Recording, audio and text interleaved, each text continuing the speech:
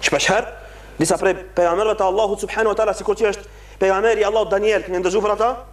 Në kohën e Umer ibn Hattabit është gjet trupi i atij i gja, i, i freskët me vite dhe vite.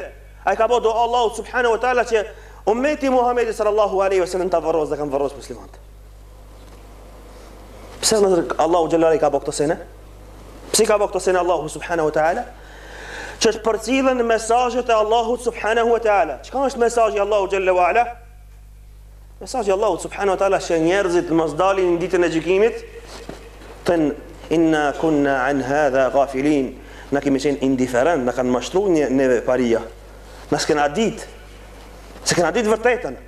S'kena pas pasqyrë të qartë për, për problemin që është. Prandaj me emocione na kanë nxjerrë njerëz, na kanë shfrytëzuar njerëzit neve, na kanë ngreh për hune njerëzit.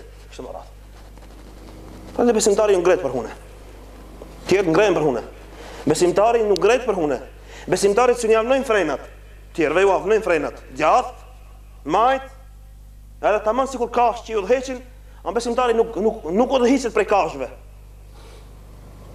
Që s'kanë mendje, që s'kanë zemër, që s'kanë sy, që s'kanë vesh, vetëm se të hollat i njofin, vetëm se parat i njofin, sikur që i njofin. Dhe për me mërritë deri te ato pare, i shfrytëzon gjithë ata njerëz. Andaj, Umer ibn Hattabi ka thonë, naiv nuk jam, e as naivi s'më mashtran, unë budall nuk jam, e as budalla s'më mashtran.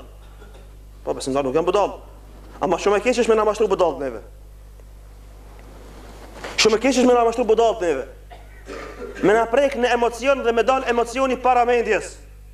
Para logjikës së shëndosh, para Kuranit, para mesazheve të Allahut subhanahu wa taala.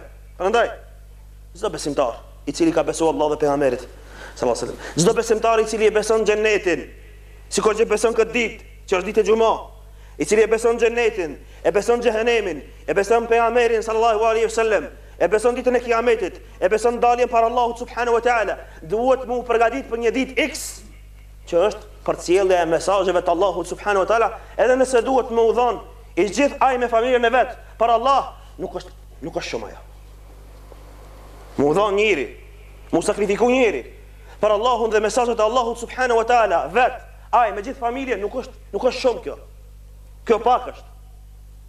Se mesazhi është shumë i madh. A me u hidhëru për kësi lloj partiash? Për njerëzit të cilët dëshirojnë marrë pushtetin dhe me bo ma zi për muslimanët. Sikur që janë këto të zi tash. Edhe kështu me radhë, kjo nuk janë këto nuk janë mesazhet e Allahut xhelle u ala.